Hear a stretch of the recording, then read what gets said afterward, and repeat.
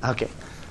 Oke, teman-teman, saya di sini akan memperkenalkan kepada teman-teman bahwa di sini ada para hotelier yang lagi berkumpul di sini. Apakah Anda kerja di hotel? Ya. Kerja di hotel ya. Ini tadi malam saya baru belanja di Mantos, Manado dan saya masuk ke Adidas. Di sini ada satu produk dan kalau senang Anda bisa memenangkannya itu is worth it lah maksudnya. Oke? Dan caranya adalah saya udah punya pertanyaan-pertanyaan di sini, jadi kayak quiz doang dan siapa pun bisa ikut. Cuman Anda perlu tahu dulu, bila Anda bisa menjawab empat pertanyaan yang saya berikan, di sini ada banyak pertanyaan tapi biar saya yang memberikannya random. Semuanya soal perhotelan kok. Sebutkan kepanjangan dari HACCP. Sebutkan Menteri Pendidikan dan Kebudayaan kita sekarang. Sebutkan kepanjangan ISO.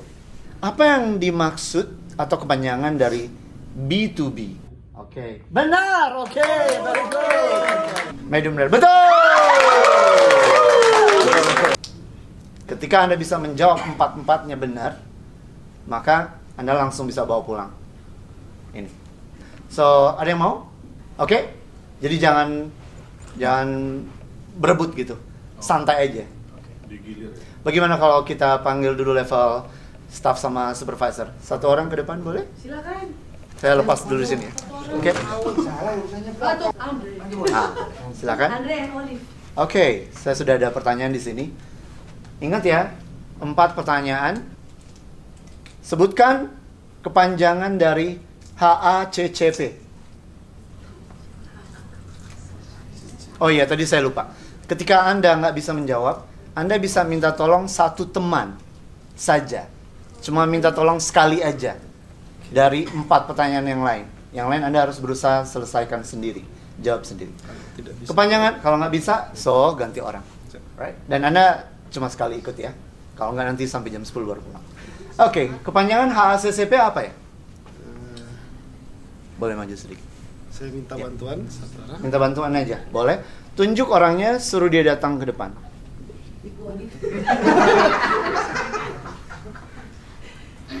Boleh maju. Bu, silakan, Bu. Eh, tanya, tanya, terus habis itu Anda ngomong ke saya. Jadi jawabannya apa? Hazard Analysis Critical Control Point. Benar. Oke, satu pertanyaan ya. Pertanyaan kedua. Sebutkan Menteri Pendidikan dan Kebudayaan kita sekarang. Udah nggak boleh bertanya kepada teman-teman yang lain. Saya kasih waktu 5 detik.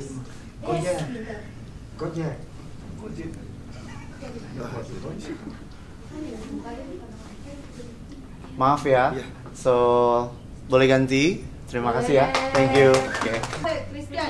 Silakan. Oke, ready? Baiklah. Sebutkan kepanjangan ISO. International Standard Operasional. Bisa diulangin? International Standard Operasional. Kurang tepat ya. Maaf. Oke, so I'm so sorry. Kayaknya harus diganti nggak apa-apa ya? Oke, silakan. Tepuk tangan dong. Ya, lanjut. Siapa yang ready? Pertanyaannya acak. Siapa tahu beruntung. Yuk. Yuk. Manager sekarang. Alright, so very good. So, waduh kerja di perhotelan ya? Betul. Oke, very good. Hotelier. Mari kita lihat kemampuannya. So, pertanyaannya gampang. Apa yang dimaksud atau kepanjangan dari B2B? B2B. Kepanjangan sih sebenarnya. kepanjangannya. Hmm. Mm-mm. B2B dan apa namanya implementasi atau artinya Art, kepanjangan. B itu apa? To itu apa? B itu apa? Kalau Anda boleh bertanya nggak Iya. apa-apa. coba eh, coba satu pak Tanya ke sana dikit, tanya dikit, habis langsung balik ke sini. oke Oke, so sudah dapat Sudah. dari teman? sudah Oke, so Sudah jadi benar aja ya ya. bisnis to bisnis ya Betul. Pertanyaan kedua, dengarkan. Ini kalau sana nggak bisa jawab, apa kata stafnya ya? apa kepanjangan dari SOP? Standard Operating Procedure. Betul! Very good. Alright, dua lagi ya. Dengarkan. Makan di luar kita. Sebutkan kepanjangan dari nggak boleh bertanya lagi ya, sudah habis ya. RPS. R RPS. RPS Pak, RPS. Be quiet. rencana. Oh bukan. Eh sebentar. R Lima ya. R P S. ya? Sorry. Cek ya. Suka kamera. Ini agak-agak di random ya. Baik, pertanyaan berikutnya. Sebutkan lima kematangan daging. Tapi nggak perlu berurut, nggak apa-apa. Um, well done, medium, rare, well, medium well, eh salah, medium well. Ya. Satu lagi apa ya? Rare, medium udah, medium well, well done. Kurang satu. Medium well. Medium well tadi udah, udah termention. Rare. Jadi rare udah, medium udah, medium, Medium well, well. udah, well done udah. Apa? Gosong. Medium rare. Medium rare. Betul. Oke. Dengarkan. Dengarkan. Oke, saya mau ngasih sedikit hal yang umum biar bisa lebih jelas. Jadi nggak semua susah-susah. Sebutkan kepanjangan dari USDA. United. Bukan ya, Pak? Ya, boleh dikatain begitu. S-nya apa ya? Pokoknya di di negara yang besar sana juga sih. Kalau nggak mau, saya sekarang Oh ada, oke. Baik, Volunteer, good. volunteer. Thank you very much. Ini udah lama nih, Pak Giri pengalamannya udah lama juga di hotelier, right? Baik, kita dengarkan. Oke. Iya, nggak susah-susah. Empat, no. Oke, Siap. Boleh jelaskan sedikit soal apa sih yang dimaksud dengan decoy system yang ada di swashing kayak gimana sih maksudnya? Decoy system yang ada di swashing department tuh kayak gimana?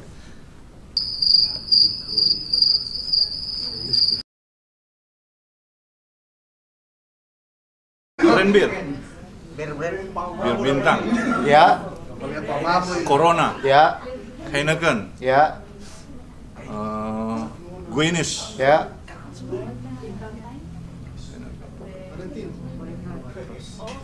Satu. Budweiser. Ya, terus. Alright, siap? Siap. Baik. Pertanyaan berikutnya, dengarkan. Angkat tangan duluan ya, yang duluan ya. Oke, oke. Sebutkan nama. Tadi nggak ada yang jawab ya? Sebutkan nama Menteri Pendidikan dan Kebudayaan. Oke. dulu Nadiem ya. Markarim. Apa? Nadiem Markarim. Nadiem Ma- Markarim. Makarim. Iya. Oke. Benar. Oke, very good. Alright. So, ingat dua pertanyaan ya. Oke. Now, yaitu tebak ya. Sekarang tebak lagi ya. Ya tinggal satu kan? Bukan saya. Sebutkan, sebutkan nama Menteri Pariwisata dan Ekonomi Kreatif.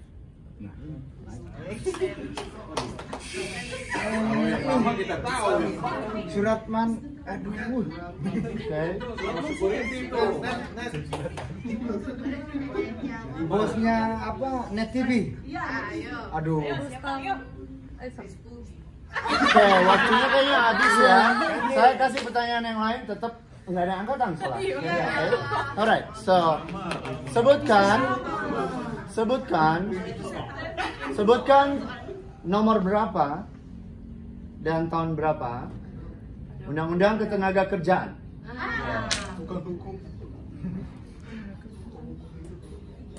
Mulai dibuat. Nomor dan tahun. Nomor dan tahun.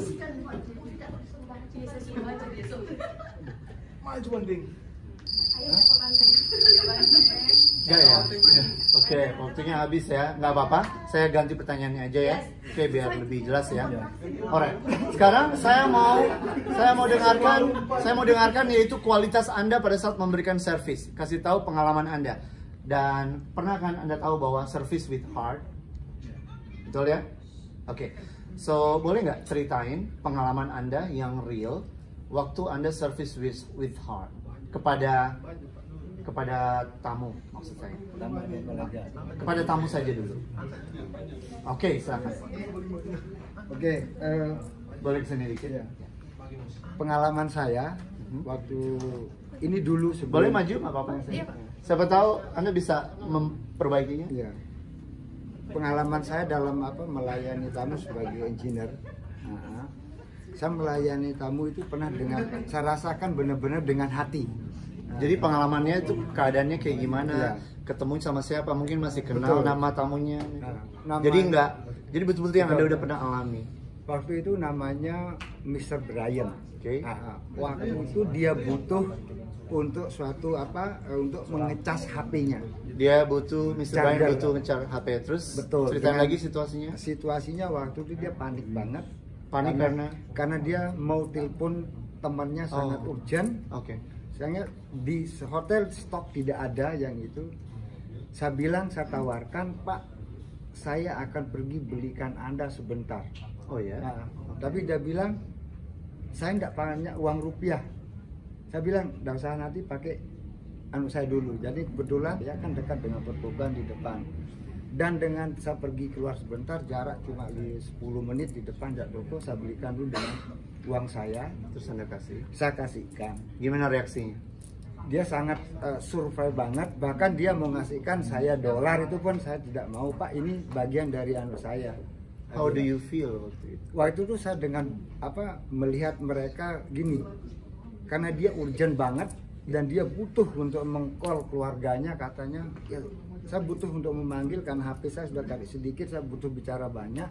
Kalau saya nggak ngecas ini, saya akan lah karena anak keluarga ibuku sakit orang New Zealand kalau nggak salah. Jadi. Anda nggak mikirin lagi sacrificing tidak Anda tidak untuk saya pikir sampai siang dalam otak saya ini orang butuh untuk menghubungi keluarganya bagaimana cara supaya HP-nya bisa kecas. Udah itu aja.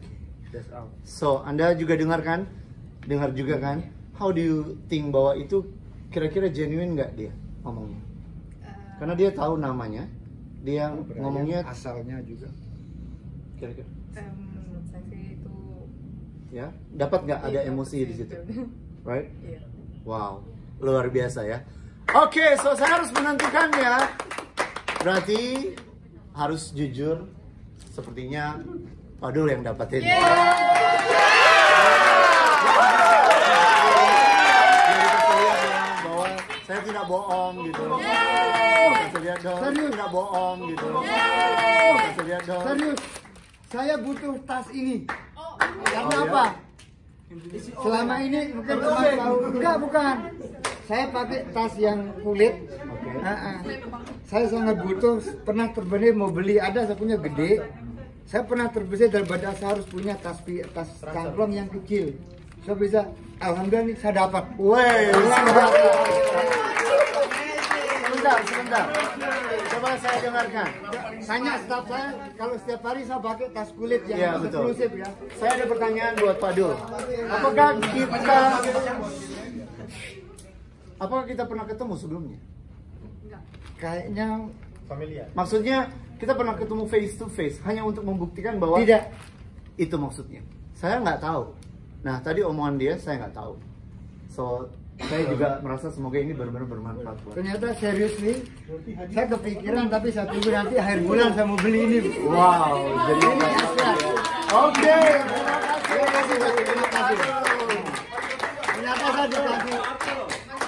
Thank you everyone. Thank you. Masih.